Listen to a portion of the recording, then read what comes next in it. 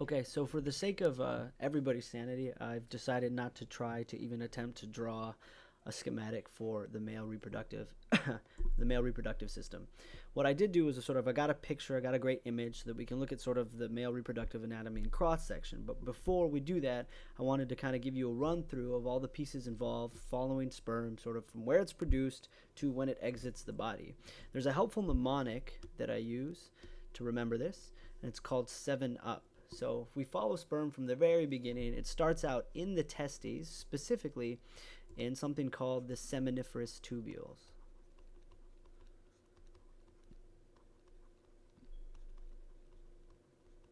So the seminiferous tubules are going to be the site of sperm production. So these are sort of where they're made inside of the testes.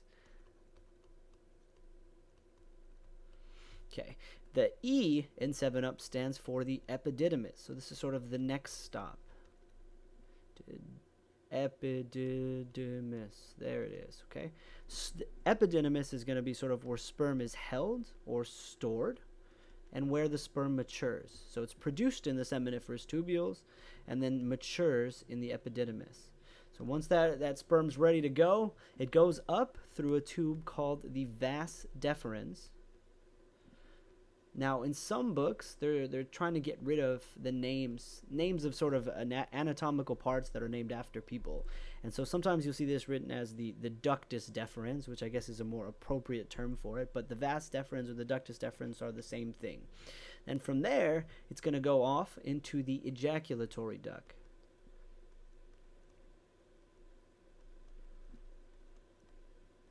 So I should say that, yeah, the vas deferens doesn't really do anything special.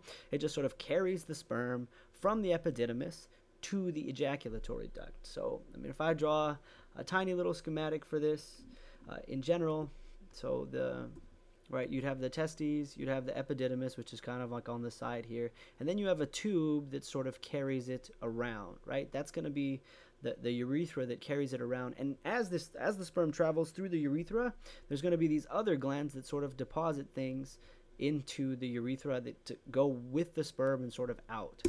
All right, but uh, for the most part, for just following the trail of sperm, right, it goes epididymis, vas deferens, and then the ejaculatory duct, which you could look at as sort of an accelerator.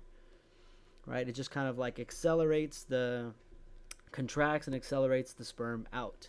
Now, this mnemonics very helpful for a lot of students, but uh, the one flaw in it is the N. So the N stands for nothing. It's just to make these words work. So the rest of them work, but the N is just nothing. So remember that there's not supposed to be anything that goes there.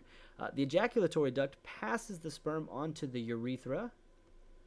And the urethra is sort of the final tube that carries sperm until it makes it out the penis. All right. there is that. So that's sort of uh, an explanation of each of the different parts. And this is just not the accessory organs involved here, but just sort of sperm's direct transit route from uh, the testes and sort of out the body. All right, now let's look at this in you know an image and a cross section and see if we can sort of identify all of these and label everything appropriately. So we'll turn that off, and then here's my image. And let's start by sort of writing our little mnemonic over here. Now let's just get this out of the way. Remember, this is nothing. Okay, and let's go through all of these. So, if you recall, the uh, this all of this starts in the testes. So here are the testes down here, and inside the testes are the seminiferous tubules. So that gives us our S. Right, moving on from there, we enter right. The sperm then goes into sort of the epididymis, which is right here, and that's where the sperm's stored and so where it matures. So there's our E.